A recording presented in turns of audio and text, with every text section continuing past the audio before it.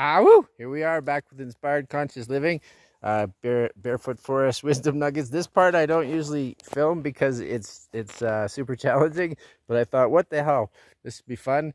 Here we are, and uh, this is steep and slippery because as you can see, there's a lot of um, pine pine needles and they're everywhere. You'll see. You'll see as we go down. I'll keep the, the camera down. So here we go. Wish us luck it's super slippery.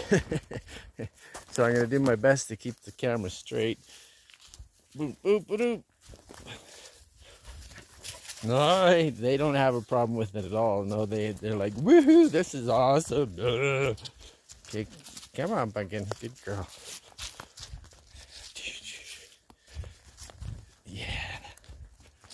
You can't don't just keep sitting in the middle of the path and make it you can stop. It's not it's not quite as easy for me. There's the puppies always having fun. There seems to be uh, uh, less needles today. So this is uh, this has been a lot easier than it usually is. Pretty awesome actually. Uh, maybe it's because I turned the camera on. This is a part where it gets a little tricky we got a nice tree here to keep us in balance. Thank you, tree. Here we go. Boom, bam, boom. Okay. And we're almost down. Okay. That wasn't nearly as bad as I thought. I guess I make a lot of it up in my mind.